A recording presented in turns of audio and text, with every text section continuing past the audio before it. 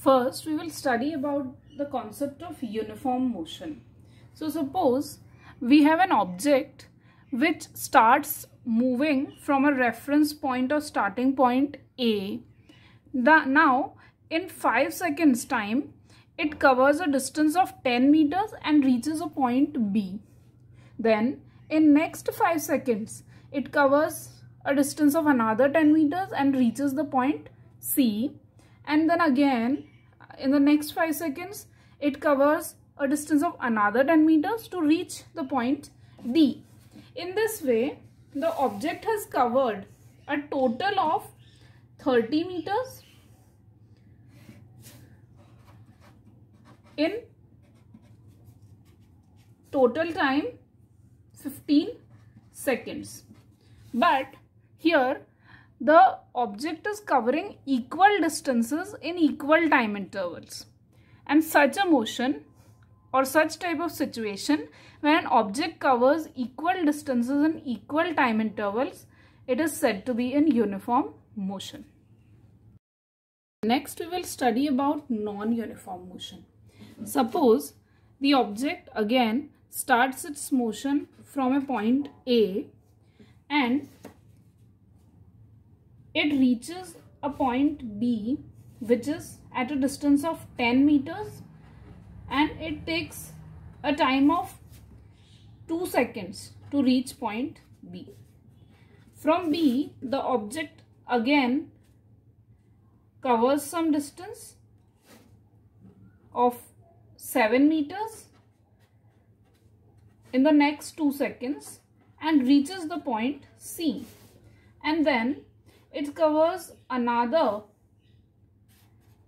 12 meters of distance to reach the final destination point D and in this 12 meters also it takes a time of 2 seconds.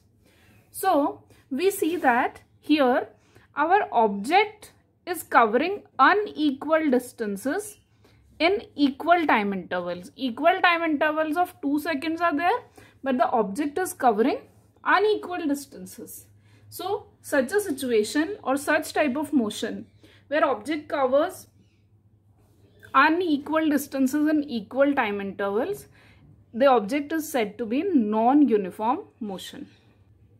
Again, um, if we take another example in which the object starts its motion from the point A and covers a distance of 10 meters to reach point B.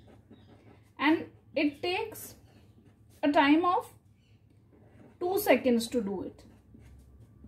Then from point B it goes to point C which is also at a distance of 10 meters.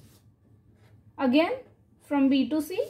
But this time it takes 7 seconds to cover this distance and then it finally goes to its destination that is point D which is also say at a distance of 10 meters and this time the object takes a time of 3 seconds to cover this distance to reach the final point D.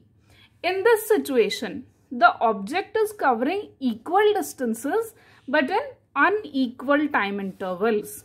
So, this is also an example of non-uniform motion.